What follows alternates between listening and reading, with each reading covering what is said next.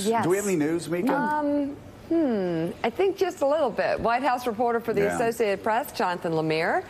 Republican communications strategist and MSNBC political contributor Rick Tyler, and former NATO Supreme Allied Commander, retired four star Navy Admiral James Stavridis. He is Chief International Security and Diplomacy Analyst for NBC News and for MSNBC, and the author of the forthcoming book, Sailing True North 10 Admirals and the Voyage of Character. That's out next hmm. week, and we look forward to that. Can't wait for that. But we begin with yet another poll showing a big jump in support for President Trump's impeachment. This time it's the latest Fox News poll in which 51% of voters support the impeachment inquiry and Trump's removal from office. That's up nine points since last month. 43% do not, down seven points. Those who support the impeachment probe include 13% of Republicans, 39% of independents, and 85% of Democrats, compared to previous administrations more than half. 51% said that the Trump administration is more corrupt, up five points since last month. 27% said it is less corrupt, and 18% said it is about the same, down six. Two thirds of voters polled said that it was inappropriate for Trump to ask foreign leaders to investigate his rivals. 25% said they believed it was appropriate.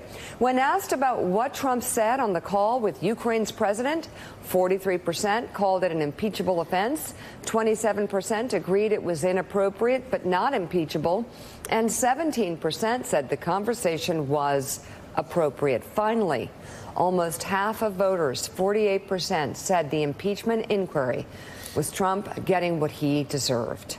37% uh, believed people are out to get him. Joe, these are important. Why? Well, they're uh, breathtaking, actually, is what they are for anybody observing politics. For Donald Trump, for people close to him in the White House, these are breathtaking numbers. They're staggering numbers. Hmm. Remember, these poll numbers are occurring at the same time they are raising hundreds of millions of dollars and spending tens of millions of dollars to burnish their image on television in digital ads. That money is being burnt. If you're giving your money to Donald Trump right now, it is literally going up in flames in these digital ads because the more they put out there, the more his numbers collapse and the more erratic he gets. I, I mean, just going through these numbers, Willie, uh, 51%, a majority say uh, that Donald Trump is more corrupt uh, than past administrations. Of course, 51% saying that he should be removed from office. This is a staggering number. Richard Nixon went through two years of Watergate before reaching that number. And now 51% saying he should be impeached and removed from office. And I've got to say, uh, of course, 66% say that that call that Donald Trump said was perfect uh, to the Ukrainian president. They said it was wrong. 60, two thirds of Americans said it was wrong. But Willie, what about this final number that almost half of Americans say Donald, in this Fox News poll, say Donald Trump is getting what he deserves. And far less number of people actually clinging to their conspiracy theories uh, that suggest that people are out to get Trump. Uh, bad news on all fronts from this Fox News poll. Hmm. It's a remarkable day, Joe, when you go to foxnews.com, foxnews.com, and the screaming headline is record support for Trump impeachment. This is a Fox News poll, and as you point out correctly, this isn't just support for the impeachment inquiry. This is 51% of Americans saying they support Donald Trump being impeached and removed from office in a Fox News poll. There are a lot of polls, Jonathan Lemire, that the president dismisses. He cited incorrectly poll numbers yesterday that I won't even repeat because they were so incorrect. But there is a growing body of evidence. There is a growing number of polls that the president can't ignore that show a majority of Americans believe he should be removed from office. First of all, go Astros. Uh, Ah. Cheap Se- shot. se- You wanted in on that. sec- secondly, the White House is keenly aware of these polls, and we know the president is particularly sensitive when one is from Fox News. Yeah. I mean, they have an independent, strong polling department there. They're, they're considered a very reputable pollster, but he believes them that they should be part of the Fox News news operation, which he, of course, has told people people around him and said on Twitter that he thinks should be more or less working for him.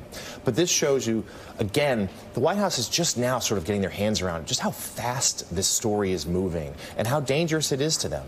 That they, they were caught flat footed after the, the, phone, the word of the phone call came out. They thought that releasing the transcript or rough transcript, the memo about the call might help. Every step they've taken since to try to change the narrative has failed. And much to the president's anger, we've seen him explode time and time again, not just on Twitter, but in settings at the, in the Oval Office, at the White House. He's frustrated. He's angry at his staff that they haven't been able to change anything. And what we've seen this week is they finally have come forward with some sort of strategy, and that is to completely stonewall. That letter they sent to House Speaker Pelosi a couple of days ago has very little legal justification. It, it's, it's more of a, it's definitely a political document. Experts we've talked to said it's not, doesn't hold hold up, probably wouldn't hold up in court. In fact, it cites cable news appearances more than it does case law. But mm. this is some, this is their attempt to stonewall, to fight, to try to make this, but, but, to rally. But Jonathan, yep. let me interrupt you here. Sure. Let me interrupt for a second because I alluded to your, your article that, that you uh, wrote, I think it was on Sunday, where you talked about the very things that Donald Trump did uh, to get elected, the very things he did for the first two and a half years of his presidency to help him survive scandals are now working against him. Uh, this is a this is a prime example. Yep. When you have over 55, 56, 57, 58 percent of Americans believing that the impeachment inquiry is legitimate, according to ABC News polls and Wall Street Journal, NBC News polls, and the president stonewalls it. Oh my gosh! Well, 58% of Americans are thinking he's stonewalling a legitimate right. investigation. You can look and see what he did yesterday. Uh, I mean, the the attacks that he received from Republicans were, were without a doubt the fiercest he, he's received since he's won the party's nomination back in the summer of 2016. You know, again, this is Donald Trump. Hey, let's change the subject. Let's create another mm-hmm. controversy, one that's even going to inflame people even more.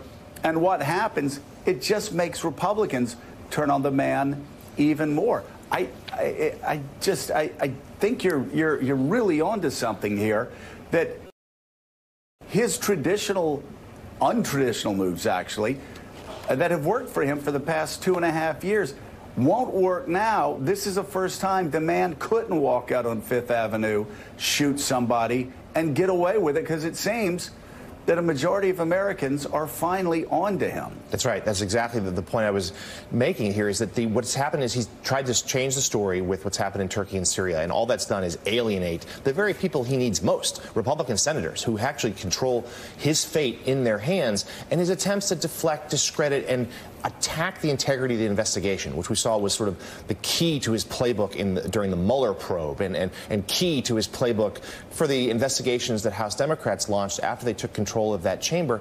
That's not working right now. The American people is, are not buying it. They believe, as these polls reflect, that this is something that's worth pursuing, investigating, and in that Fox News poll, perhaps even sending him out of office. And right now, the standard tactics that he's used aren't effective. He's flailing, and they're going to have to come up with something else because all this does now is risk turning more and more of both the public and potentially lawmakers against him.